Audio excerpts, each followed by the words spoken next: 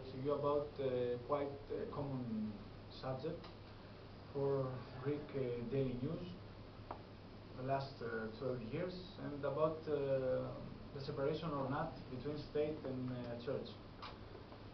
Uh, the issue of state and church relations should be examined carefully and in detail so as to reveal that why the Orthodox Church and the Greek state are two sides of uh, the same coin in Greece.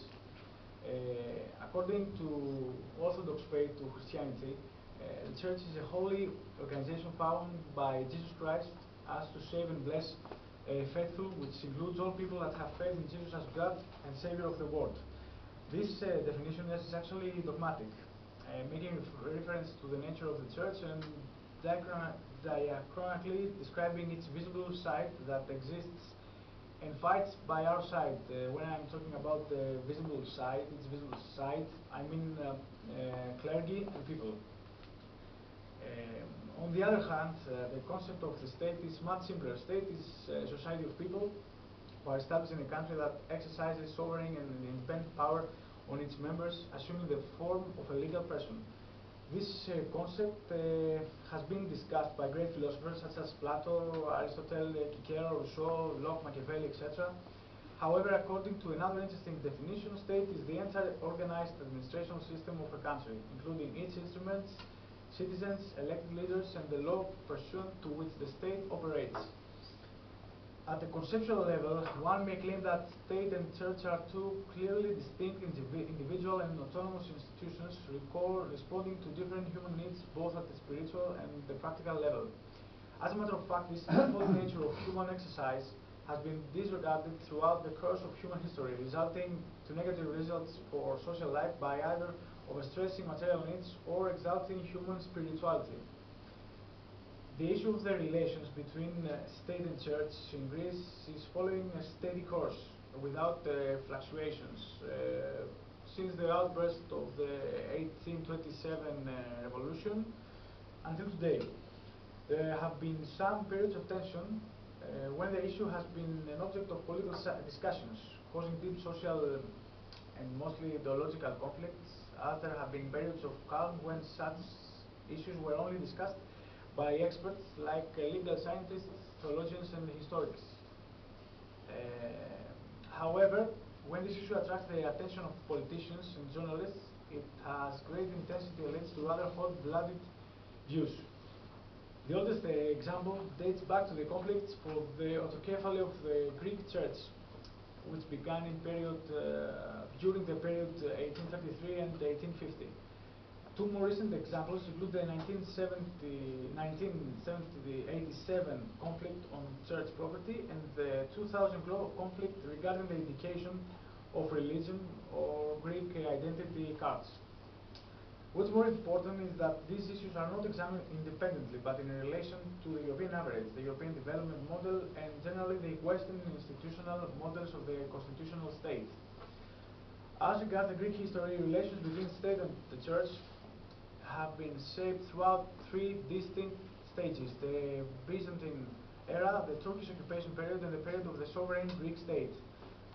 Sovereign Greek state, uh, I mean after the, uh, the revolution of 1827 till today. Uh, theologically, we can easily say that according to the Orthodox Church and the Christianity faith, uh, both powers share a common origin in the threefold uh, God, and there is a differentiation as regards the essence and the boundaries of this power. This is uh, the option, the, the, the view, uh, depending uh, on uh, theology.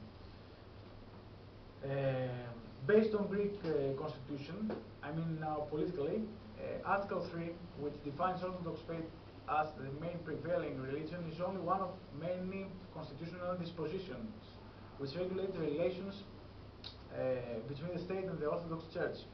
According to the renowned uh, Greek constitutional expert Evangelos Venizelos, this uh, disposition is not regular, regulatory but complementary, which means that the relation between the state and the church, and uh, when I'm talking about church, I mean general, not only Christian Orthodox Church, but other also religious organizations, will continue to be constitutionally regarded even in the case of a revisory parliament. However, It is worth mentioning that the constitutional framework of the Greek state, pursuant to Article 13, paragraph 1 of the Constitution, defines religious freedom as a fundamental individual right, protecting different religions and avoiding the abuse of Article 3 of the Constitution, which refers to the existence of one prevailing religion. When reading or hearing the views of those who support uh, separation, it is clear that there is a lack of substantial arguments. These people often relate the state-church uh, separation to the establishment of obligatory civil weddings, civil oath-taking, civil funerals and burials, as well as cremation, or even to abolishment of the disposition on blasphemy against divine symbols and the restriction of conversion in religious sects. The European Union, founded upon the principle of subs uh, subsidiarity and adopting the open coordination method in the European Lisbon Summit during May 2000, is continuing its course to integration with more solidarity and mutual, su- mutual support. Uh, those, our country, I mean Greece, needs to follow this orientation of European development and consequently regulate the issue of state-church relations. The nature of these relations in Greece may differ, as mentioned above, but can, can coexist uh, with the European uh, reality, within European reality. There is an imperative need for supranational cooperation to address the issues faced by European nations, such as the financial crisis that affects Europe, and not only, in the past four years, without eliminating the existing particularities among member states. It is actually the pluralism of characteristics and mentalities and the multicultural nature of Europe that give life and color to the democratic political systems found within the European borders. Uh, consequently, Greek governments in representation of the state should always abide by the provisions of the Greek constitution and respect and protect the rights of different religions and religious organizations. Apart from the prevailing religion as defined in Article 3 of the Constitution, as I told you before, Greek governments should not apply the aforementioned article in disregard of Article 13 uh, on uh, religious freedom. On the other hand, it should not condemn nor approve through laws and dispositions uh, an institution which is constitutionally uh, regulated and uh, indissolubly linked to the history of the Greek nation. As Greek uh, constitutions, and as a final uh, conclusion, uh, both the state and the Orthodox Church should still continue the effort to smoothen their relations by preserving their independence within a framework of harmonious coexistence. Thank you very much. Thank you very much. So, Christina, would you like? Uh,